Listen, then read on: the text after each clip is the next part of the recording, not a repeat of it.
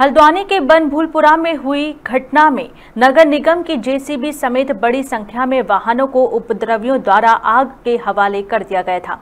Police ने इस पूरे मामले में मलिक के बगीचे पर अवैध कब्जा जमाने वाले अब्दुल मलिक को नगर निगम के हुए नुकसान की भरपाई करने के संबंध में नोटिस जारी किया है।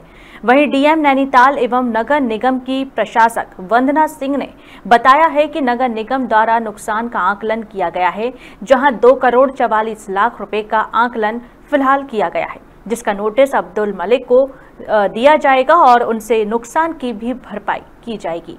वहीं दंगा प्रभावित क्षेत्र बनभूलपुरा में 127 शस्त्र लाइसेंस को सस्पेंड कर दिया गया है। हल्द्वानी से संवाददाता दीपक अधिकारी की रिपोर्ट।